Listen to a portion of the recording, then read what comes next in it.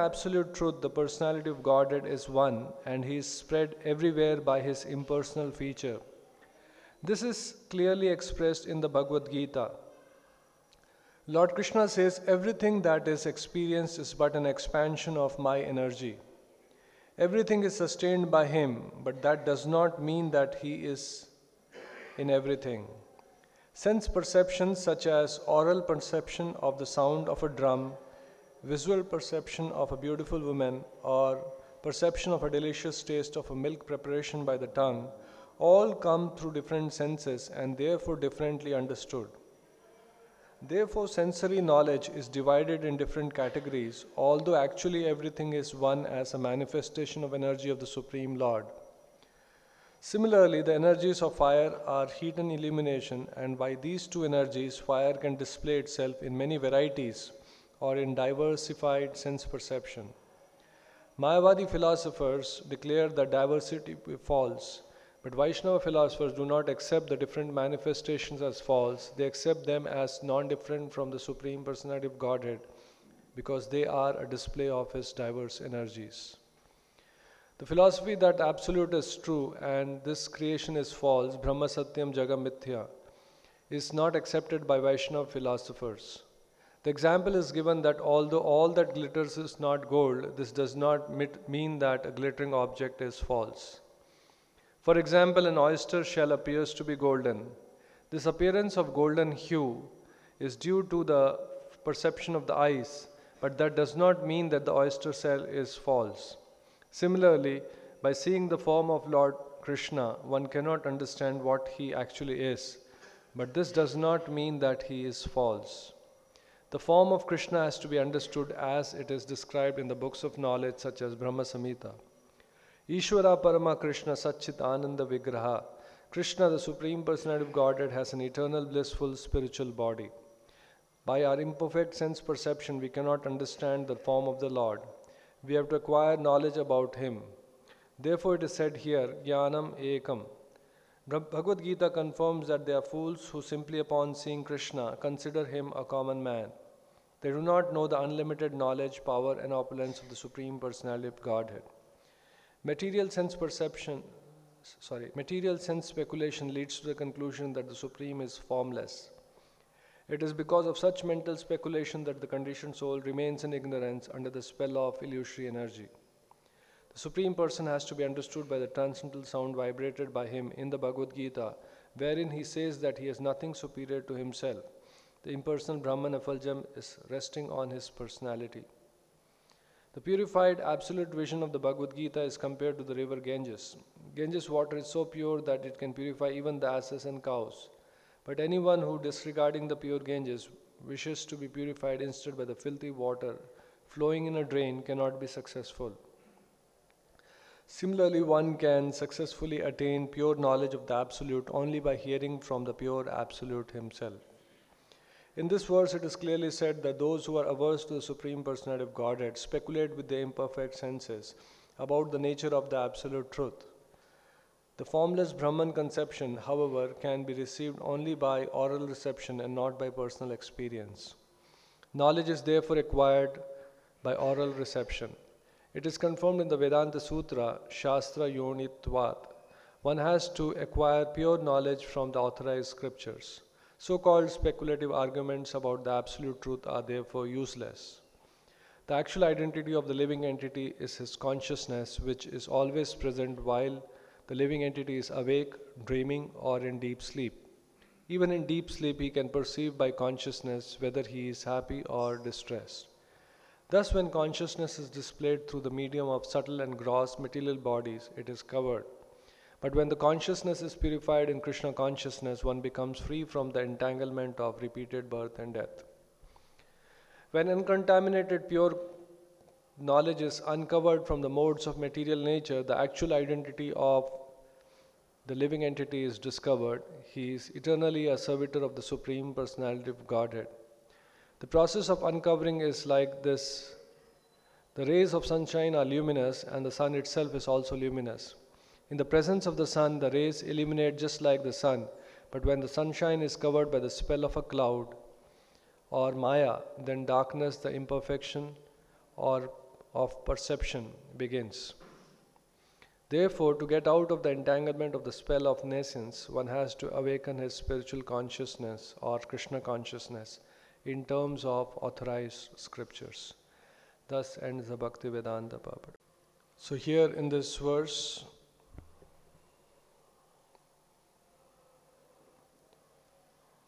the understanding of the Supreme Lord the right process, how we can go about understanding the Supreme Lord, is mentioned. so, Prabhupada in the purport explains the Supreme Absolute Truth, the personality of Godhead, is one and He is spread everywhere by His impersonal feature. So, whatever we see in this creation, both material and spiritual,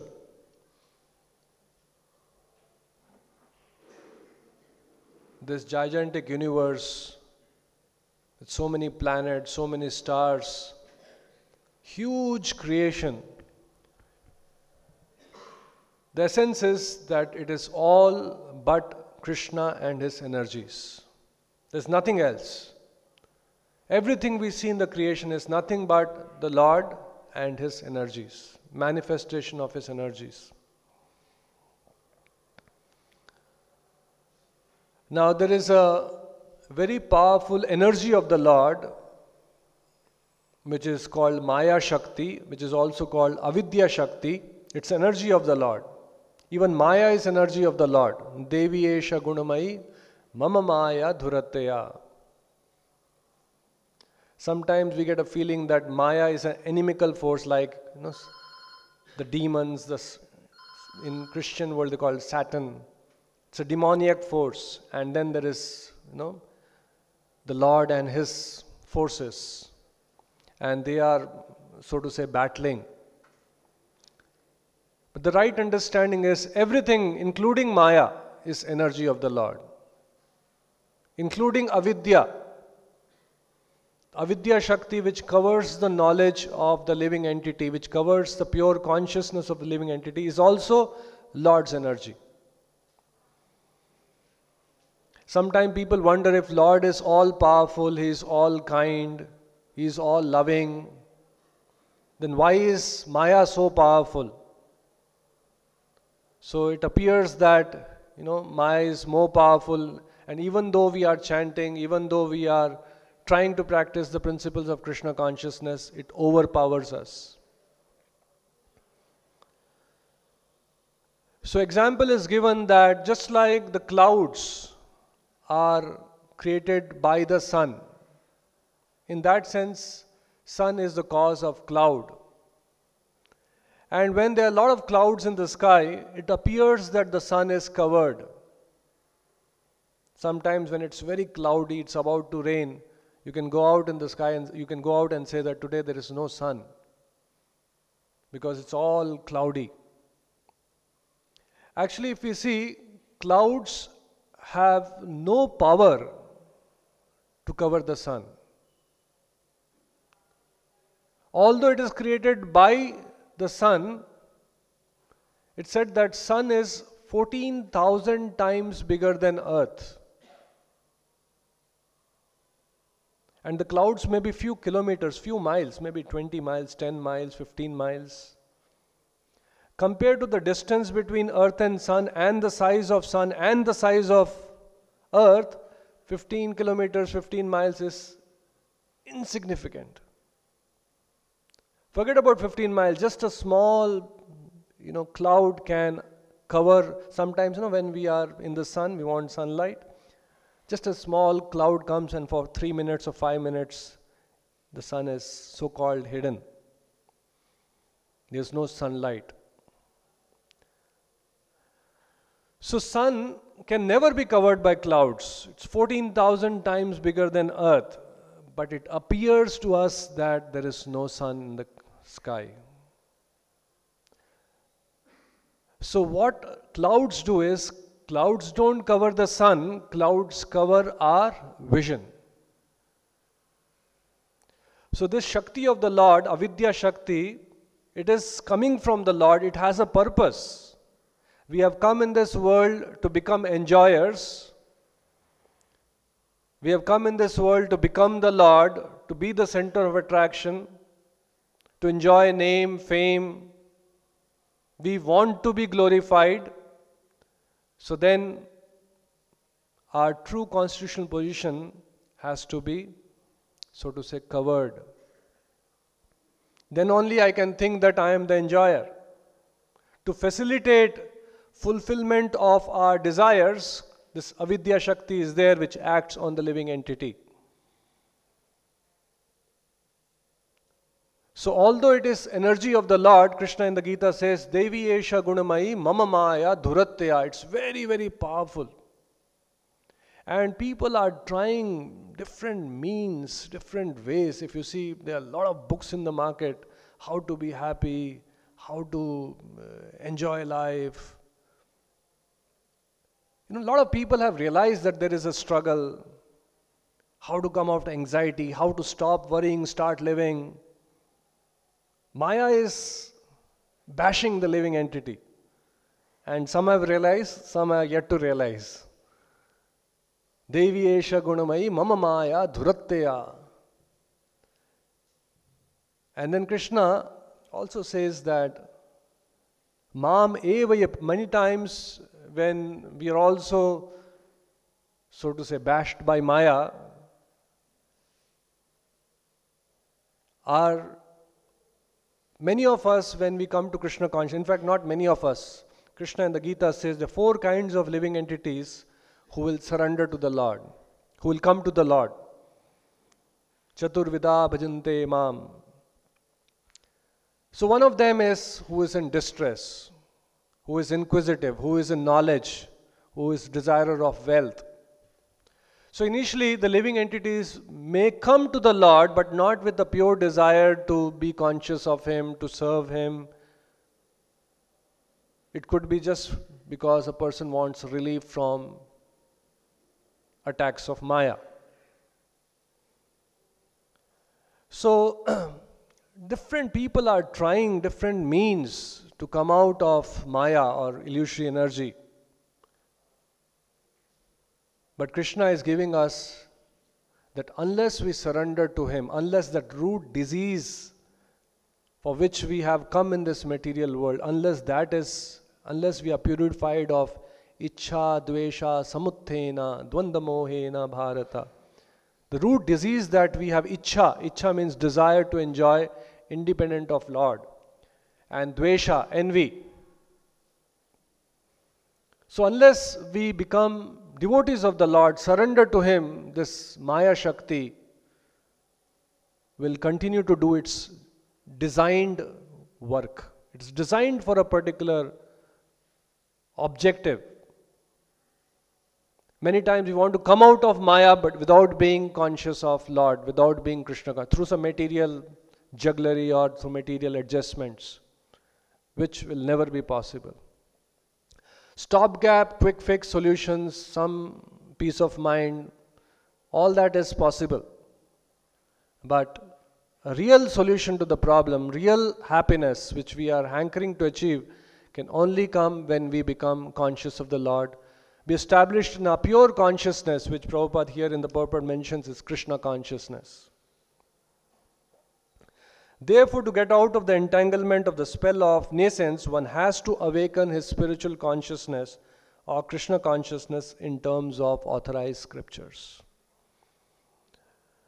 So, last session we discussed, last class when I was here, we discussed about a philosophy of Charvak Muni. Charvak Muni was propagating the understanding that ultimately goal of life is to enjoy life. By hook or crook enjoy life. People also subscribe to this understanding in present times. Many people are followers of that philosophy. Live life king size. And you know we have many popular brands. Just do it. Don't worry. And Charvak Muni was of the opinion that ultimately all of us, irrespective of whether we engaged in pious activities, impious activities, ye khana hai, nahi khana hai, ultimately everyone has to become bhasma. we have to, you know, get cremated and, you know, all be turned into ashes. So before we turn to ashes, which is eventual end for both pious and impious people, better enjoy life. And for that, you have to beg, borrow, steal. You know, what about know, sinful reactions? You will be held accountable for the bad deeds. Says that you don't worry. What you like doing is pious. What is not pleasing for your mind and senses is impious. That was the definition by Charvak Muni. So that's purely atheistic philosophy. So broadly speaking, we have theists and the atheists. Atheists are subscriber of the understanding there is no soul, there is no God, there is no afterlife, there is no accountability for our actions. Eat, drink, be merry, enjoy life. And then comes the theists. Theists means who have some sense. So we have 4 lakh species out of 84 lakh species. So a large portion is atheists. And then we have, again, depends on how we classify. Then we have the theists who have some sense, some understanding, some surrender to the Lord, and the final end of that spectrum is pure devotees, pure consciousness, completely surrendered to the Supreme Lord, purely Krishna conscious. So now we have on one end completely barbaric, uncultured, with no conception of God, and the other end of the spectrum we have pure devotees. So all different religions of the world, all different scriptures Actually, if you ask anybody, this question I invariably ask in the sessions how many of us feel that today the world is in a mess because of religion? I have seen almost everyone, so called even devotees who are practicing Krishna consciousness or maybe even started chanting. I've asked this question many, many times. Everyone raises their hands. They said today the world is in a mess because we also see people fighting in the name of religion, communal riots happening, countries fighting in the name of religion. Many of the world wars have, wars in the world have happened because of Israel, Palestine, all these things. The root is religion. That's how many people subscribe to the understanding that, you know, do away with religion, be a good human being first. So, why do people come to this conclusion? Because people come to this conclusion when they see that all religions are having instructions which apparently are contradictory. If you go to Christianity, they'll say Jesus is the only way. If you come to us, we'll say Krishna is the only way. And some fanatic people would say, you know, my God is better than your God. Or my religion is better than your religion. And that's how many people, in the name of God, are trying to save other souls by converting them.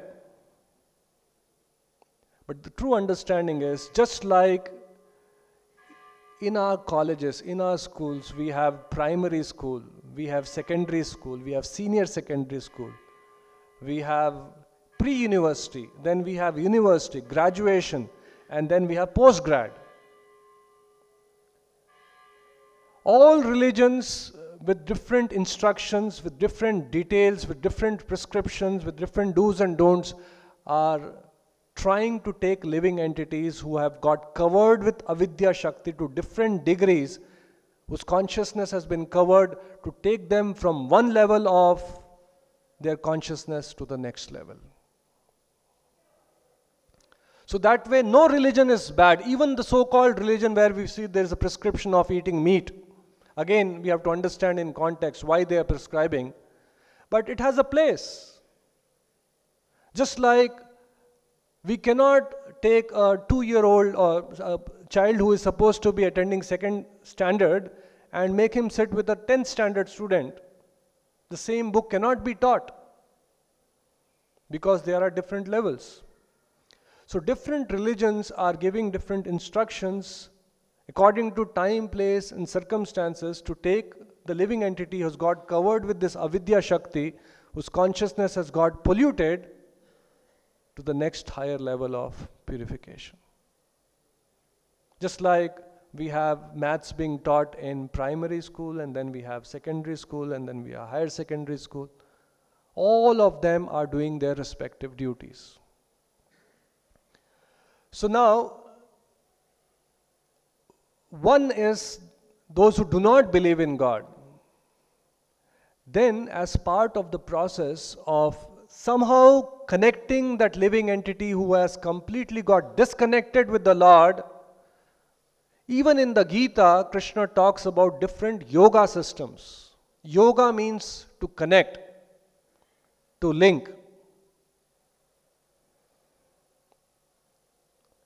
How many of us do yoga every day?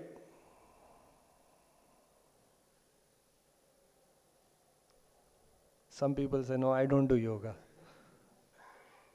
See how deeply this misunderstanding has crept into the system. When I ask this question, even you know, in the Gita Live session, which happens there, everyone who is attending Gita Live, Gita reading and chanting, you know, two, three people will raise hands, and then others say, इनको भी हुआ कुछ तो फंसा रहे हैं हमारे को So yoga typically, including us, when generally the word yoga, do yoga. Okay, Prabhuji, I'll find time, 10 minutes. After chanting, I'll do yoga. so typical understanding of word yoga is, you know, today what is understood in, you know, so to say, conventional understanding is to do with asanas. But the real word yoga means to connect connect that living entity who has forgotten Lord. Now, the living entity can forget the connection with the Lord, but that does not mean that connection does not exist. A child can forget his father, but that connection is still there. He is born to a father. He can deny that he is not my father. He can deny that I don't care of you, but then the connection is there. So, likewise, Krishna, broadly speaking, although we hear of so many yogas these days power yoga and fire yoga, you see bill, billboards, you know, different yogas getting, because the word yoga has become so international yoga day. Broadly speaking, Krishna talks about four yogas. And again, it is meant for living entities who are at different levels of their spiritual growth. In the third chapter, Krishna talks about Karma Yoga. And then we have Jnana Yoga, Ashtanga Yoga, and finally, Krishna talks about Bhakti Yoga. And then he concludes saying that Yoginam api sarvesham, of all the yogis, Sometimes we get an understanding that I am a karma yogi, or somebody says I am a jnana yogi. It appears that they are treading different paths. Just like I am an engineer, engineer, I am a doctor, I am an architect. There are different streams. You can, if an engineer is getting into that line, he may not. For a person who is pursuing medicine, it's a completely different line. So it appears that somebody who's a karma yogi, who's a jnana yogi, they're treading different paths, but actually, our scriptures give us an understanding that different yogas are nothing but steps in the yoga ladder. And this ladder, just like if we have to go higher, go to some higher destination, we use ladder. Likewise, when we have to elevate our consciousness, then these different yoga systems are like different rungs of the yoga ladder.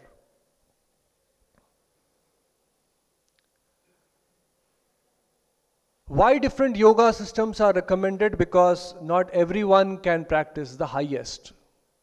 Even in the 12th chapter, Krishna says, the highest who is completely absorbed in Him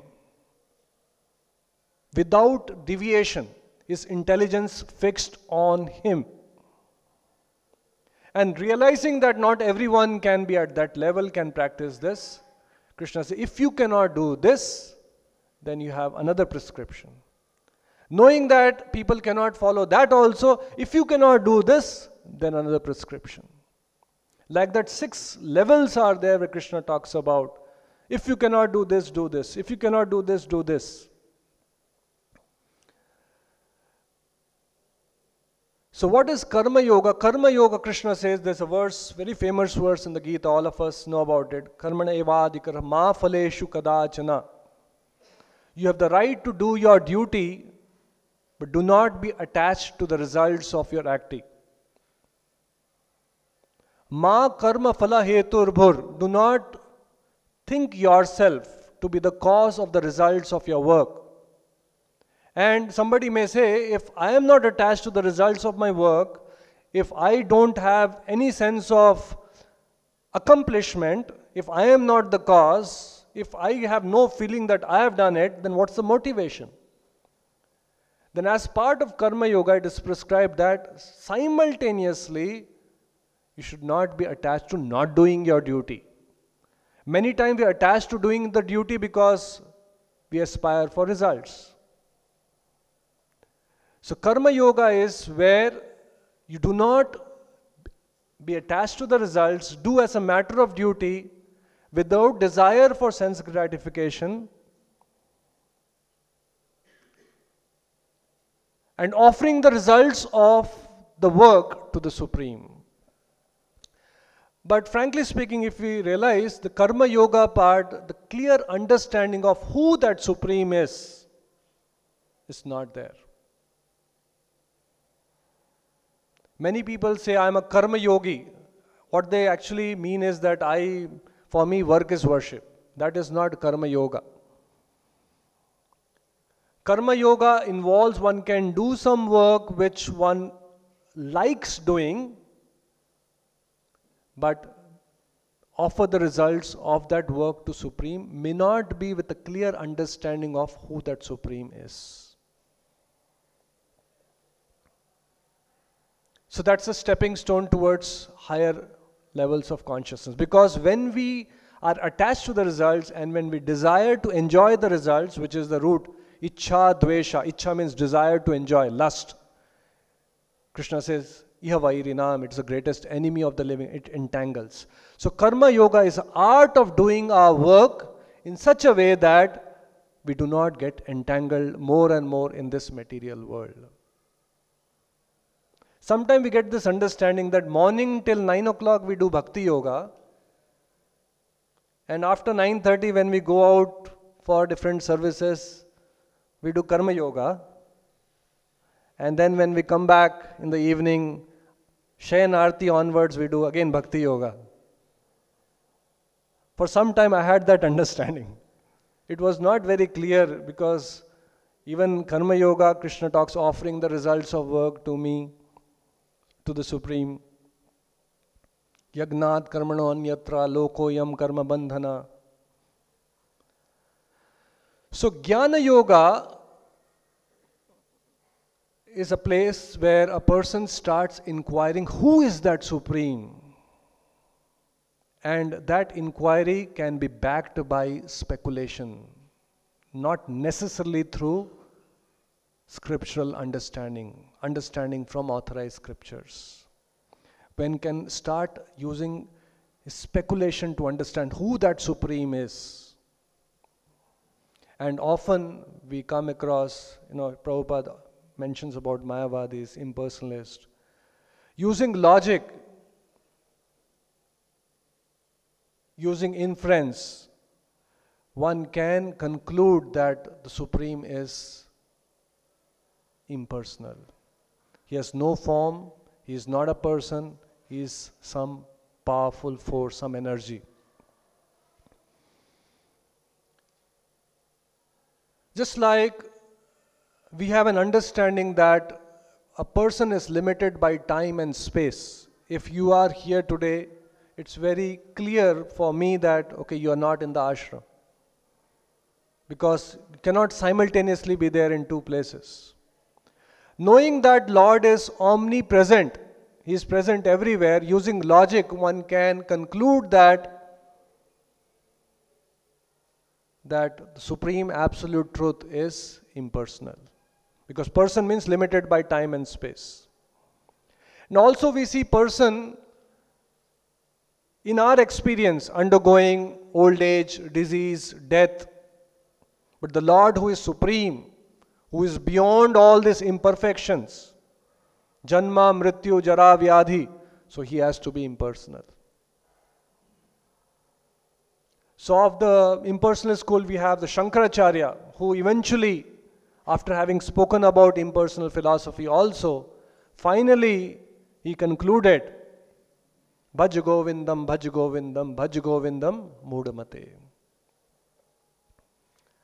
And in fact, some of the Shankaracharya philosophers, they, they also use speculation to derive meaning out what Shankaracharya meant with this Bhaj Govindam, Bhaj Govindam.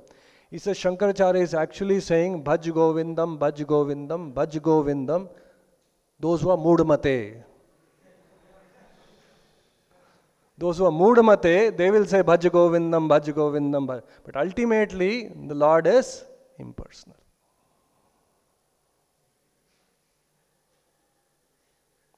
So you have Karma Yoga and then we have Jnana Yoga. So Prabhupada here it says that in the purport, unless we get this knowledge from a pure authorized source, descending process from authorized scriptures, we will for sure make a mistake in understanding of the Supreme.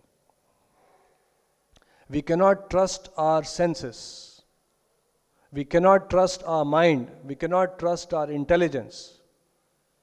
In the battle of Kurukshetra, the Lord was seen by so many people, but not everyone could come to the conclusion that here is the Supreme Personality of Godhead. Only by hearing from authorized source we can come to the right conclusion. Just by even even mugging up, even sometimes you know we mug up did I share that shikari aayega that in the last. So one time there was uh, you know group of birds. They were quite tormented with you know hunters coming into the into the jungles and then you know making them, taking them captive and taking them off. In Hindi, they are called shikaris, hunters. So, so the birds were quite disturbed with that. So one of the lead bird went to a sage. The leader of the birds went to the sage. He says, you know, every time when we are, you know, hopping around here and there trying to fetch our food, we get caught in the net. What should we do? So the sage said, I'll give you a mantra. Just memorize this mantra and you will be safe. So they were ready to memorize the mantra. So the, the sage gave them a mantra. Always keep chanting. शिकारी आएगा दाना डालेगा जाल बिछाएगा लोभ से उसमें फंसना नहीं शिकारी आएगा दाना डालेगा जाल बिछाएगा लोभ से उसमें फंसना नहीं so all the birds you know they were all from twig to twig bird to bird शिकारी आएगा दाना डालेगा जाल बिछाएगा लोभ से उसमें फंसना नहीं so they were you know always so to say chirping this mantra then actually one day the शिकारी केम दे सॉ द शिकारी वॉज़ पुटिंग दाना एंड दिस बर्ड शिकारी आएगा दाना डालेगा जाल बिछाएगा And then actually they started, you know, going near the dana and trying to eat. And the shikari actually put the jal on top of them. And they all still शिकारी आएगा दाना डालेगा जाल बिछाएगा लोभ से उसमें फंस and actually they got caught and that शिकारी finally wrap that you know net caught all of them and they all you know caught in between trying to escape शिकारी आएगा दाना डालेगा जाल बिछाएगा लोभ से उसमें फंसना नहीं So many times when we try to lord over the process without following the descending process, without begging for the mercy, Divya Gyan Hriday Prakashito. That's why it says pure devotee is even free from the desire for jnana and karma.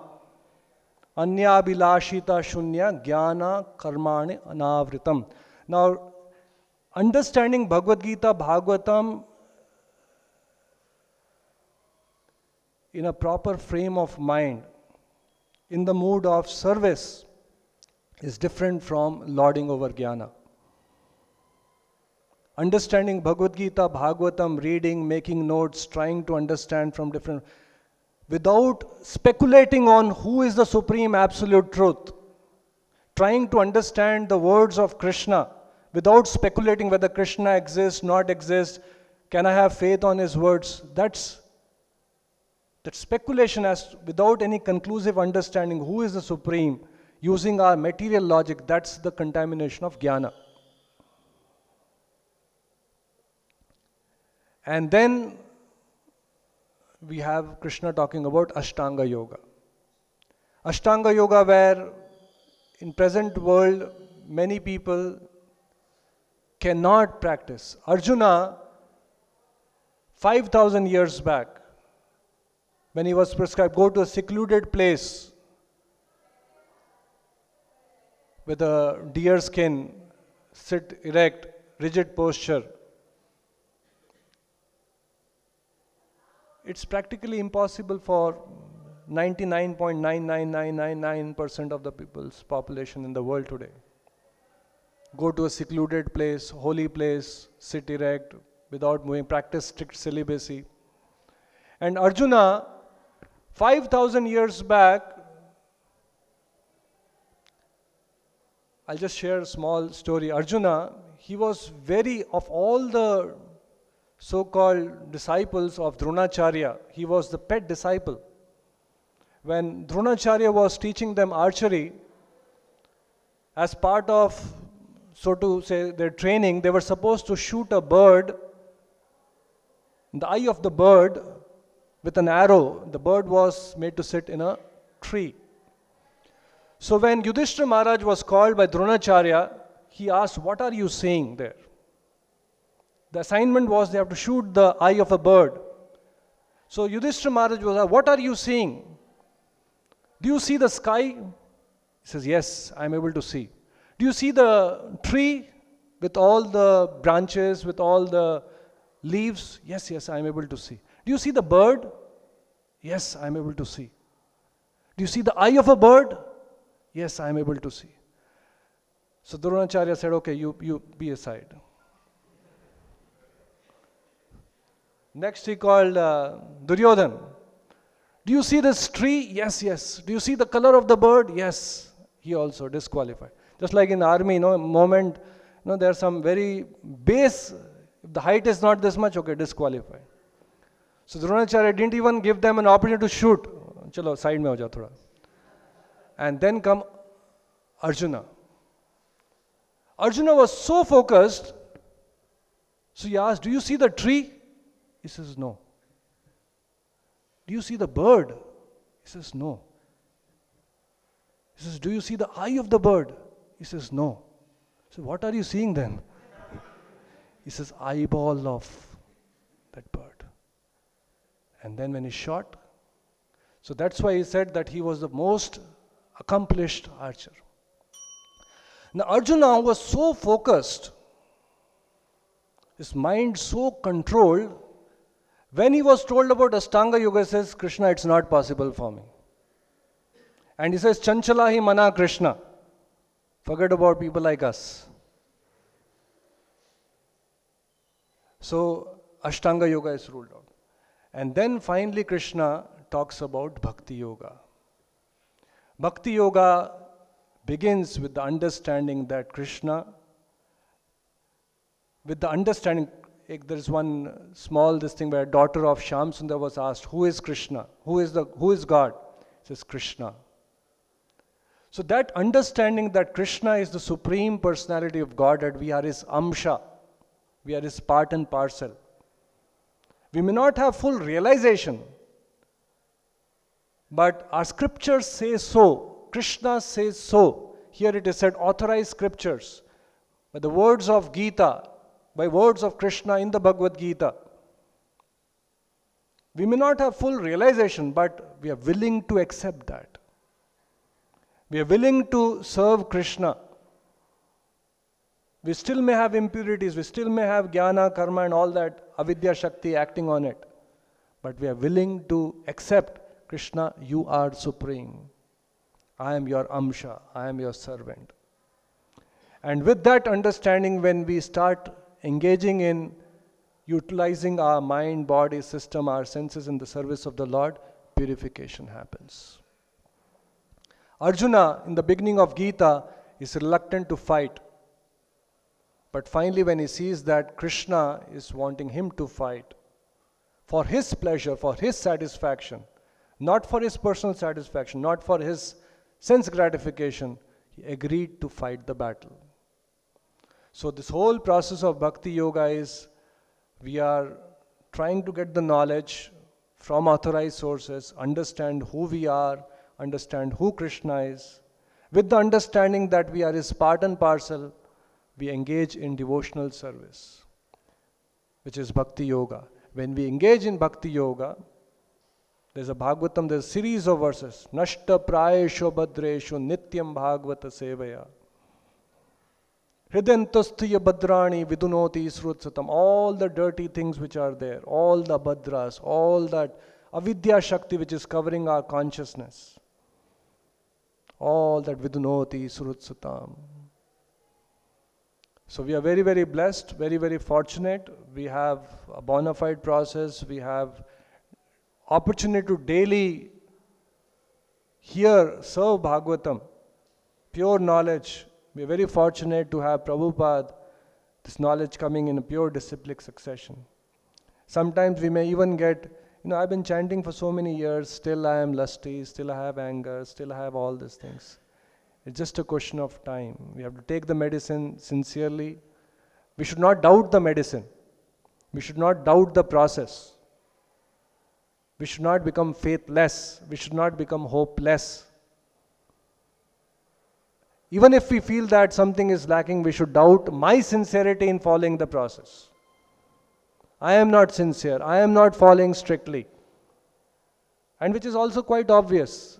Everyone knows we have to chant out, but we're not able to chant attentively. We're trying our best. We keep doing that, and very soon we'll get purified. So we'll stop here. Granth Raj, Shrimad Bhagavatam ki, Srila Prabhupada ki.